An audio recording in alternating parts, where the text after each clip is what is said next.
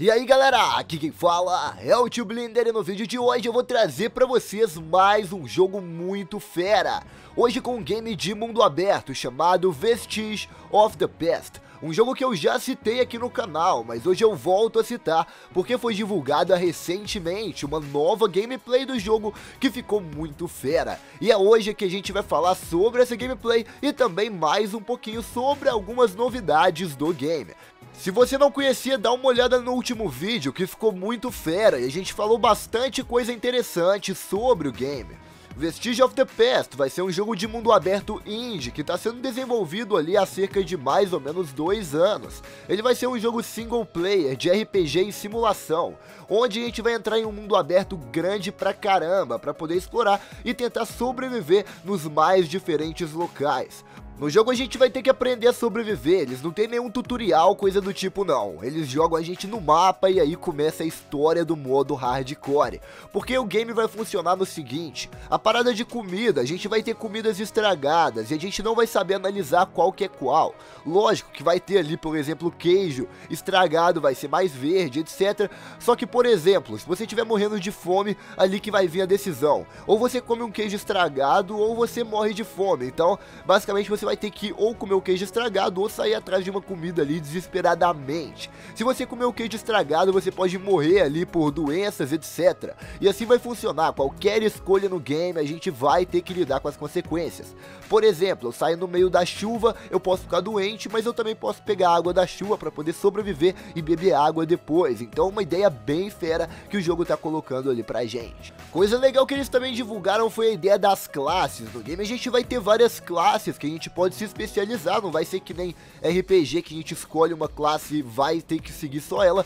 No jogo a gente vai ter várias skills, vai ter desde skill ali de fishing até skill ali de farming. Farming seria ali a skill de plantar as coisas, fishing seria a skill ali de pesca, a gente vai ter skin ali de combate no caso, para poder matar animais e também lidar ali com outros inimigos ao longo do game. A gente vai ter também a ideia de energia e também de criação de computadores, o que eu achei bem fera também. No caso, a gente vai poder desde fazer uma usina hidrelétrica até fazer uma usina ali daquelas que tem os cataventos que fica rodando. Então tem uma ideia bem fera. A gente vai conseguir também fazer ali no caso é, geradores de energia para poder gerar lâmpada, vai poder fazer também é, esse negócio dos computadores. Eu ainda não entendi como é que vai funcionar e para que, que a gente vai utilizar o computador, mas vai ter computador dentro do game.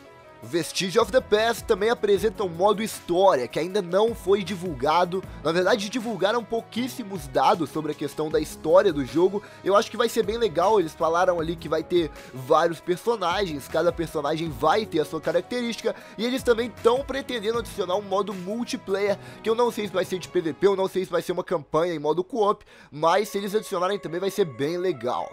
Coisa muito fera também vão ser os interiores. O jogo quer fazer ali as cidades com um interior gigante. Então a gente vai poder entrar ali em tudo quanto é lugar, entrar em qualquer casa da cidade, qualquer prédio, explorar e ver o que tem dentro. Vai ter desde gas stations, que seriam estações de gás, até supermercados, postos de gasolina, restaurantes, prédios, lojas, etc. E tudo a gente vai poder pegar dentro do game, desde um papel ali até a dinheiro jogado no chão, a gente vai poder pegar também. O que vai ser bem legal, permitindo uma interação gigante ali com tudo dentro do game. Bom, o jogo está previsto para lançamento na primavera desse ano de 2017, então vamos esperar que em breve ele vai ter lançamento aqui pra gente.